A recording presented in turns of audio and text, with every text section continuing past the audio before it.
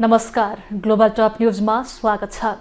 इलाम प्रतिनिधि सभा निर्वाचन क्षेत्र नम्बर दुईमा शनिबार भएको उपनिर्वाचनको अहिले केही बेरमा मतगणना सुरु हुँदैछ।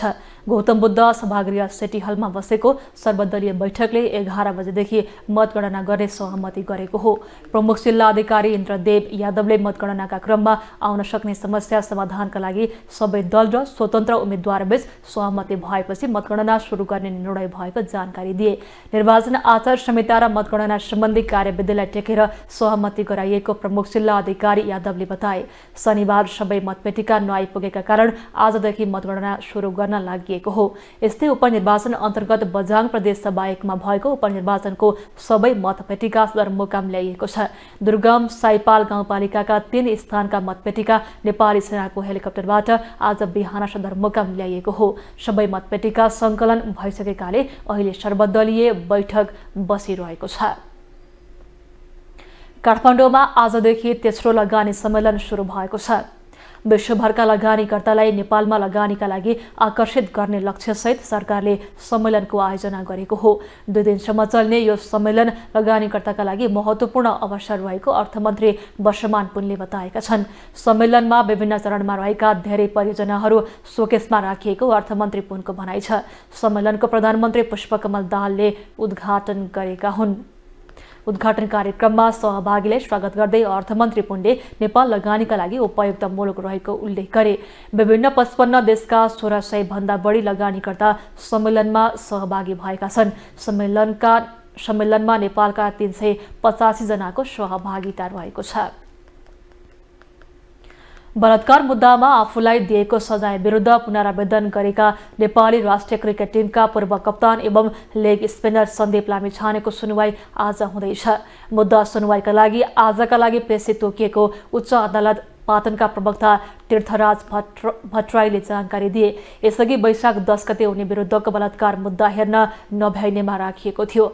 सन्दीपमाथि एक किशोरीले बलात्कार गरेको आरोप लगाएकी छिन्। उनको मुद्दा उच्च अदालत पाटनमा विचाराधीन छ यसअघि काठमाडौँ जिल्ला अदालतले भने उनी दोषी रहेको ठहर गर्दै आठ वर्षको सजाय तोकेको छ। यसपछि उनी पुनरावेदनका लागि उच्च अदालत पाटन गएका छन्। सन्देह पक्षका वकिलहरूले मुद्दालाई प्राथमिकतामा राखेर हेर्नुपर्ने जिकिर गर्दै आएका छन्। नक्कली लाइसेन्स प्रकरणमा प्रहरीको केन्द्रीय अनुसन्धान ब्युरोले यातायात व्यवस्था विभागका कम्प्युटर इन्जिनियर हरेश भट्ट र शाखा अधिकृत सुरज अर्याललाई पक्राउ गरेको छ। यातायात व्यवस्था विभागको अभिलेख नै सच्याएर नक्कली लाइसेन्स जारी गर्ने काममा संलग्न भएको आरोपमा ब्युरोले उनीहरूलाई पक्राउ गरेको हो। देशैभरका यातायात कार्यालयबाट एक लाखभन्दा बढी नक्कली लाइसेन्स जारी भएको घटनामा अहिले अख्तियार दुरुपयोग अनुसन्धान आयोग र प्रहरीको केन्द्रीय अनुसन्धान ब्युरोले छुट्टा छुट्टै अनुसन्धान गरिरहेका छन्। शनिबार शनिबार पक्राउ परेका भट्ट यातायात व्यवस्था विभागका करारका इन्जिनियर हुन्। गत पुषमा यातायात व्यवस्था विभागले देशैभरका यातायात कार्यालयबाट जारी भएको लाइसेन्सको डाटा बेसबारे अध्ययन गरेको थियो। अध्ययनले पाँच वर्षको अवधिमा देशभरका यातायात कार्यालयबाट करिब त्रिहत्तर हजार नक्कली सवारी चालक अनुमति पत्र लाइसेन्स जारी भएको भेटिएको थियो। ती बाहेक प्रदेश सरकार मातहतका यातायात कार्यालयहरूमा गडबड भएको भेटिएपछि जारी गर्ने तयारीमा रहेका करिब तेइस हजार लाइसेन्स रोकिएका थिए। जापानकी विदेश मन्त्री खामी खावा योकोले नेपाल भ्रमण गर्ने भएकी छन्। जापानको विदेश मन्त्रालयले एक सूचना जारी गरेर खामी खावाले आगामी मे पाँच तारिकमा नेपालको भ्रमण गर्ने जानकारी दिएको हो।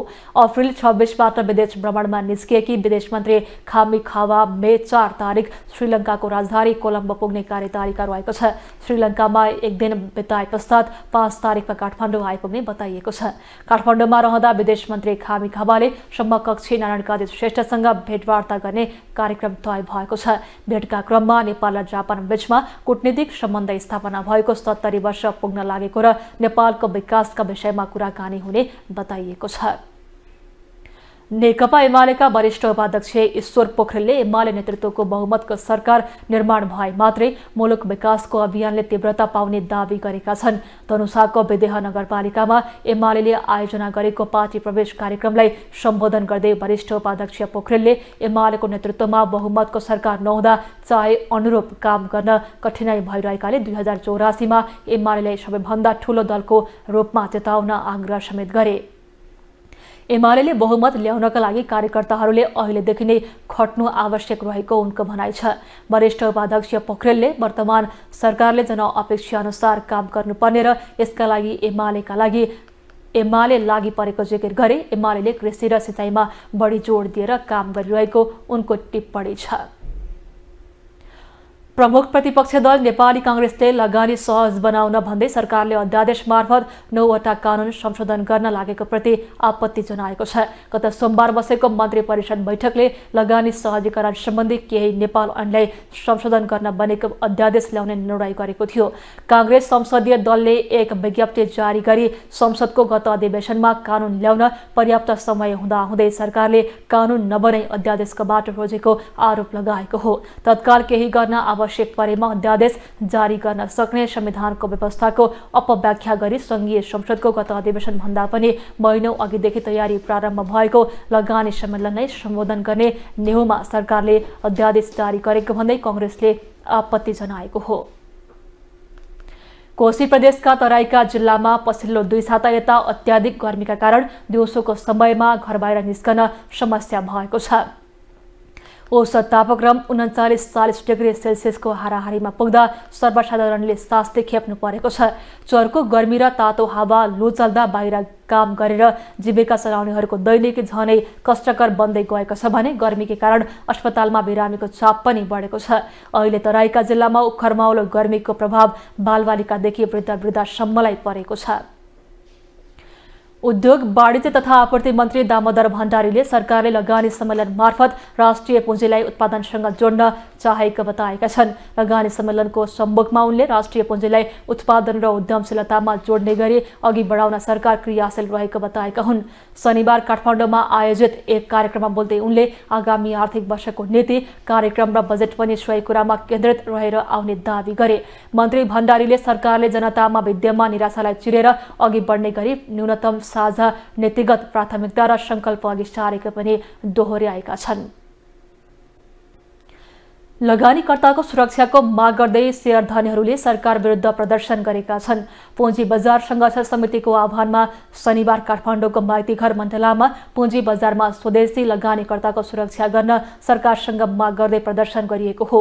पुँजी बजारमा खर्बौँको स्वदेशी लगानी डुबिराख्दा पनि सरकारले वास्ता नगरेकाले त्यसको विरोधमा सङ्घर्ष गर्नु परेको नेपाल धनी सङ्घका महासचिव सुरक्षा खड्काले बताए। उनले स्वदेशी लगानीकर्ताहरू मारमा परेका बेला सरकारले नेपालमा लगानी सम्मेलन आयोजना गरेर हास्यास्पद काम गरेको उनको जिकिर छ।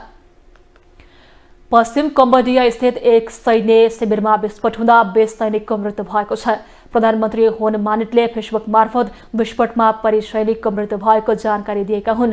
प्रधानमन्त्री होन मानिटले जारी गरेको वक्तव्यमा रक्षा मन्त्री र रोयल कम्बोडियाले सशस्त्र बलका कमान्डर इन चिफलाई मृतक सैनिकको तत्काल अन्त्येष्टिको व्यवस्था गर्न निर्देशन दिएको बताएका छन्।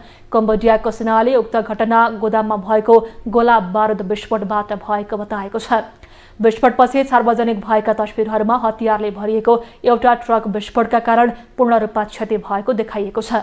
विस्फोटका कारण कार्यालय भवन र नजिकैको ब्यारेक ध्वस्त भएको छ भने आसपासका पच्चिसवटा घरमा पनि आंशिक क्षति भएको बताइएको छ।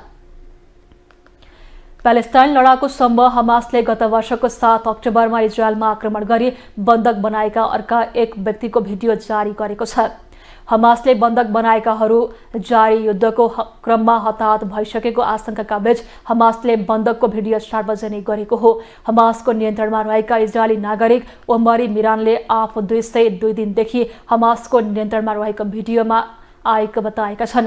हमासले मिरानसँगै अर्का बन्धक केथ सिगलको पनि भिडियो सार्वजनिक गरेका छन्।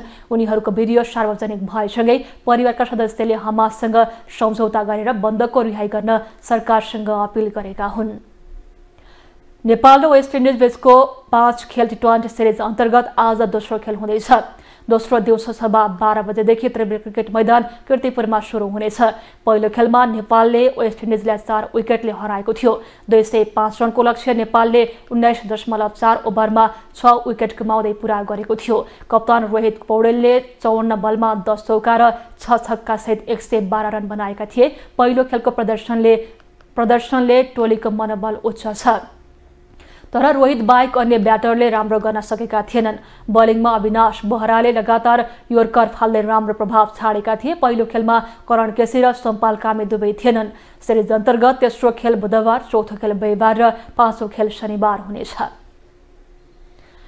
इन्डियन प्रिमियर लिग आइपिएलको जारी संस्करणमा राजस्थान रोयल्सले प्ले अफ स्थान पक्का गरेको छ। गैराते सम्पन्न खेलमा लखनऊ सुपर जायन्ट्सलाई सात विकेटले हराउँदै राजस्थानले प्ले अफ स्थान लगभग पक्का पक्की गरेको छ। राजस्थान नौ खेलमा आठमा जितका साथ शीर्ष स्थानमा छ। एक सय सन्तानब्बे रनको लक्ष्य पछ्याएको राजस्थानले उन्नाइस ओभरमा तीन विकेट गुमाउँदै पुरा गर्यो। लखनऊका एस ठाकुर मार्कस स्टेनिस र अमित मिश्राले एक एक विकेट लिए। त्यसअघि टस हारेर पहिला ब्याटिङको निम्त पाएको घरेलु टोली लखनऊले बिस ओभरमा पाँच विकेट गुमाउँदै एक सय छयानब्बे रन बनाए बनाएको थियो। लखनऊका लोकेश राहुलले सर्वाधिक छयहत्तर रन बनाए। राजस्थान नौ खेलमा आठमा जित र एकमा हारसहित सोह्र अङ्कका साथ शीर्ष स्थानमा छ। बाँकी पाँचमध्ये एक खेल जित प्लेअफ खेल्न पक्का हुनेछ। लखनऊ नौ खेलमा पाँचमा जित र चारमा हारसहित दस अङ्कका साथ चौथो स्थानमा छ। हवस् त ग्लोबल टप न्युज अहिलेलाई सकियो। ग्लोबल टेलिभिजन हेर्दै गर्नुहोला। नमस्ते।